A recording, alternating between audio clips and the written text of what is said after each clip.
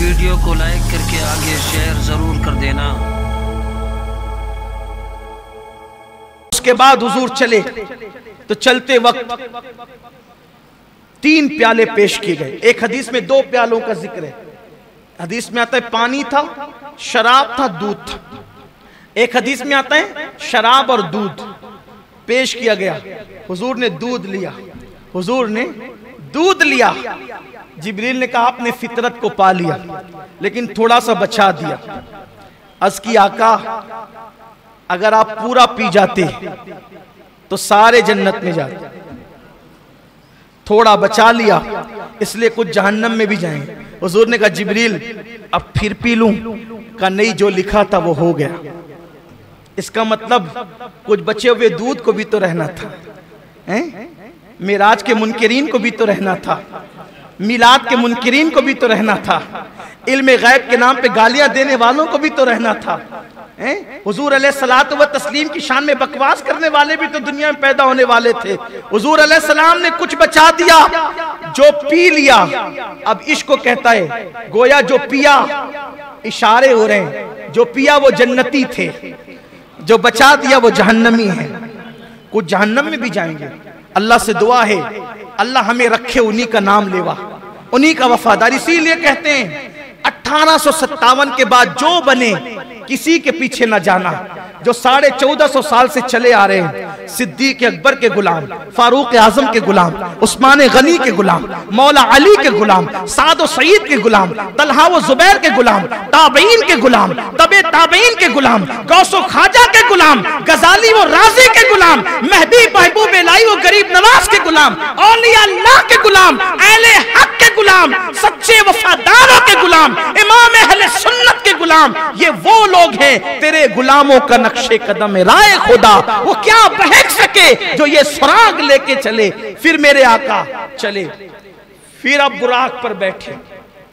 बुराक में बैठे तो बुराक ऊँचा हो गया।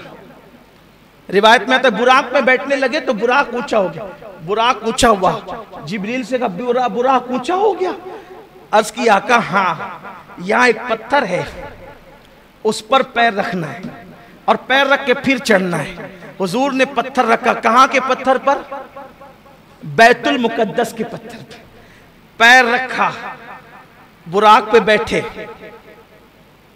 तो जैसे ही चले, पैर रखने से पत्थर को ऐसा इश्क हुआ कि वो भी पीछे दौड़ा, मैं भी चलूँगा। पैर रखकर मुझे छोड़ के जाते कहा? पैर रखकर मुझे छोड़ के जाते कहा? मैं भी चलूँगा। मेरे आका ने मैं सखरा। रुको, तुम रुको। रुको, कुर्बान। जिसको हजूर ने कहा, सखर, रुको। वो आज भी रुका हुआ है। और कैसे रुका हुआ है? ऐसे उठा, ऐसे ऐसे उठा। हजूर ने कहा, रुको। वहीं रुक गया। रुकना किसको कहते हैं? तवज्जे। है आपकी? एक आदमी अपनी जगह से चला, आगे बढ़ा। कहेंगे, रुको। रुकने का मतलब क्या? अब ना पीछे हो। है तवज्जे? न पीछे हो। ना आगे बढ़ो। जाए, वहीं रुको। अल्लाह की इज़्ज़त की कसम जाके बैतुल मुकद्दस देख लो। अगर अल्लाह तौफीक दे तो बैतुल मुकद्दस जाके देख लो। वो उठा था, हवा में मोल्लक था। अभी भी वो हवा ही में मोल्लक है। गोया साढ़े चौदह सदियाँ बीत गई है। हुजूर ने कहा था, रुको वो रुका हुआ है। न ज़मीन पे वापस गया, न फिर उसके बाद आगे बढ़ा, वहीं पे रुका हुआ है। बैतुल मुकद्दस अल्लाह तौफीक दे तो ज़रूर जाना। क्योंकि हुजूर सलाम की हदीस है, जो ईमान की वजह से और अल्लाह की निशानी की वजह से बैतुल मुकद्दस की जियारत को जाएगा। अंबियाए किराम जन्नत में उस पर तवज्जो की निगाह फरमाएँगे। और जो पाँच वक्त की नमाज़ बैतुल मुकद्दस में पढ़ ले, पाँच वक्त की नमाज़, वो गुनाह से ऐसे पाक हो जाता है जैसे अभी अपनी माँ के पेट से पैदा हुआ। इसलिए अगर अल्लाह तौफीक दे तो एक मरतबा बैतुल मुकद्दस जाने की नीयत ज़रूर करें। हम दुआ करते अल्लाह बैतुल मुकद्दस को सलामत रखना और ताकयामत रखना। ताकि हम भी और हमारी नस्लें भी उसकी ज्यारत का शरफ हासिल कर सके। देखो ये हजूर के कितना अजीम मोजज है ना, वो पत्थर वहीं रुका हुआ है, अभी भी रुका हुआ है। उसकी तस्वीरें नेट पर आप देख सकते हैं। फिर आका चले, फरमाते हम आगे बढ़े। पहले आसमान पे गए, दस्तक दी दरवाजे पे। अंदर से आवाज़ आई, कौन? का जिब्रील। जिब्रील हूँ।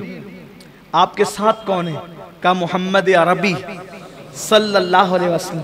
आज उन्हें बुलाया गया है? हाँ। अरे, पहले ही से तो चर्चे पहले ही से तो चर्चे फिर ये क्यों पूछा जा रहा है? इसलिए पूछा जा रहा है। गोया, आज जिब्रील महबूब के साथ आएँगे तो दरवाजे खुलेंगे। और फिर जिब्रील तो रोज आना आते जाते हैं ना। आज ये दस्तक क्यों? दस्तक क्यों? हमारे सूफिया ने लिखा है, दस्तक इसलिए है कि जिन दरवाजों से फरिश्ते जाते थे, वो दरवाजे और थे। और जो हुजूर के लिए बनाया गया था, वो दरवाज़ा और था। यानी आसमान में कई दरवाजे हैं, लेकिन एक दरवाज़ा मखसूस मेरे नबी के लिए बना था कि जब मेराज पर हबीब को बुलाएँगे तो इसी दरवाजे से बुलाएँगे। और महबूब इसी तो ये महबूब के लिए मखसूस दरवाज़ा था, किसी और के लिए खुलना नहीं था। दरवाज़ा खुला, हजूर कहते हैं हम अंदर गए। अब जल्दी जल्दी चलते हैं। दस बजे का टाइम था, सवा दस होता जल्दी जल्दी चलते हैं। कल भी, लेकिन कल के कल हमने रखा था। मेराज के बाद क्या हुआ? ये बयान ही नहीं होता। तो कल के लिए हमने रखा था। कल भी इंशाल्लाह, चूँकि हालात थोड़े नाजुक है तो कल भी हम यही करेंगे कि ईशा की जैसी नमाज़ हो जाएगी, एक नाज शरीफ के बाद बयान शुरू कर देंगे।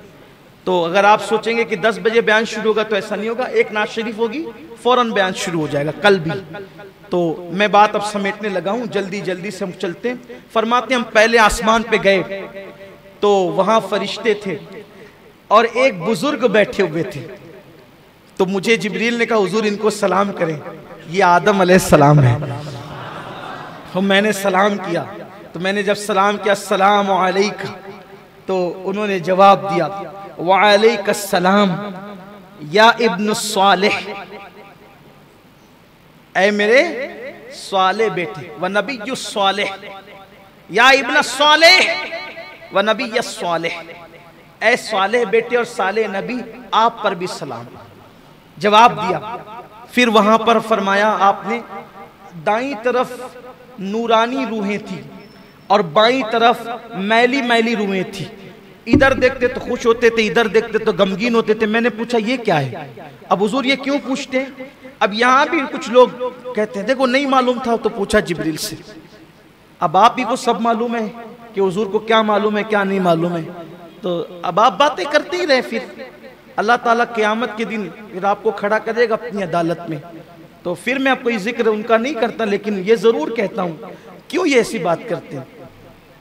हुजूर को, अरे मेरे अज़ीज़, हुजूर सलाम जो बार बार पूछ रहे ना, इसलिए पूछ रहे हैं, मैं पूछूँगा तो जिब्रील बताएँगे। जब बताएँगे, भाई अगर हुजूर सलाम खामोशी से आगे बढ़ जाते कि मुझे मालूम है तो बोलो आज मैं ये बयान कर सकता था, कोई किताब में लिख सकता था। हुजूर पूछे जा रहे हैं, जिब्रील सलाम बयान किए जा रहे हैं और फिर रिवायतें बनती जा रही ये भी तो तकलीफ़ है ना कि हदीस में नहीं आया। और हदीस में आया तो फिर कहते, जिब्रील से पूछा क्यों?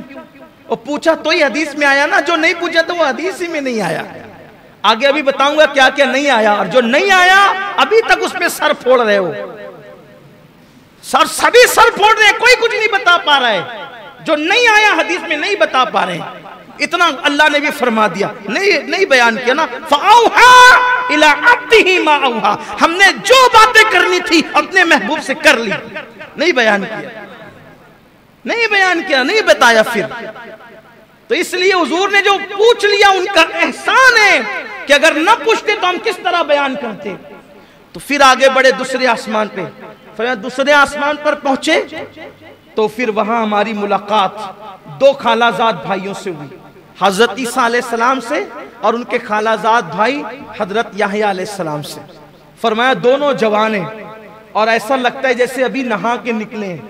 हजूर ने पूरा होलिया बयान किया। अभी नहा के निकले, उनकी जुल्फों से पानी के कतरे ऐसे टपक रहे थे। वो चांदी के मोतियों की तरह खड़ा खड़ा नक्शा फरमाया और दोनों थे वहाँ पर। बड़े पाकिजा सुतरे जवान थे। फिर उन्होंने उनको हमने सलाम किया। उन्होंने भी हमारा इस्तकबाल किया। फिर तीसरे आसमान पर पहुँचे। वहाँ हमने बहुत खूबसूरत नबी को देखा। वो हज़रत यूसुफ सलाम थे। यूसुफ सलाम की जियारत वहाँ पर की।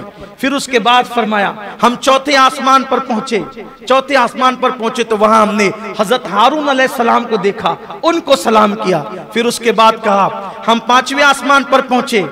तो हम माफ़ कीजिएगा हम चौथे आसमान पर पहुँचे तो हज़रत इदरीस सलाम की जियारत की उन्हें सलाम किया। फिर पाँचवें पर पहुँचे तो हज़रत हारून सलाम की जियारत की उन्हें सलाम किया। छठे आसमान पर पहुँचे हज़रत मूसा सलाम मिले।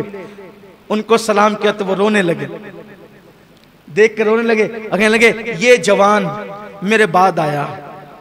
क्या मर्तबे पाया? ये जवान मेरे बाद आया क्या मर्तबे पाया? कि इसकी उम्मत सबसे ज़्यादा जन्नत में जाएगी। इसके पैरोकार सबसे ज़्यादा होंगे। अल्लाह ने इसको क्या शान अता की? ये रोना हसद की वजह से न था। इस वजह से था कि बड़ी मेहनत की हज़रत मूसम बहुत मेहनत की। लेकिन आपकी कौम बड़ी निखम्मी, बड़ी नालायक कौम। ऐसे ऐसे ताने दिए नबी को बहुत सताया। लेकिन ये मेरे आका सलाम, देखो, दोनों में फ़र्क बताऊँ। दोनों की कौम में फ़र्क। मूसा सलाम चले अपनी अपनी उम्मत को लेके। का लड़ना है। लड़ना है। कौम से लड़ना है दुश्मनों से। कौम ने क्या जवाब दिया बताए? आप लड़ो और आपका रब लड़े। हम तो यहाँ बैठ के तमाशा देखेंगे। ये कौम मूसा है और मेरे नबी के सहाबा। मेरे आका के सहाबा। हुजूर लड़ने नहीं निकले थे। एक काफला था, उसको रोकने निकले थे। लेकिन वो काफला निकल गया, जंग के हालात बन गए। मेरे आका सलाम ने सहाबा को लेकर मशवरा किया, बताओ क्या मशवरा देते हो? एक सहाबी उठ के खड़े होते या रसूल अल्लाह मशवरे की क्या बात है? हम आपके गुलाम हैं, आप हमें ले चले। जब तक हमारे जिस्म में खून का एक कतरा मौजूद रहेगा, हम आप पर सब कुछ कुर्बान कर देंगे। हम मूसा की कौम की तरह नहीं कहेंगे कि आप लड़े आपका रब लड़े। हम बैठ कर तमाशा देखेंगे। हुजूर जब तक जान है आपके कदमों पे कुर्बान करते रहेंगे।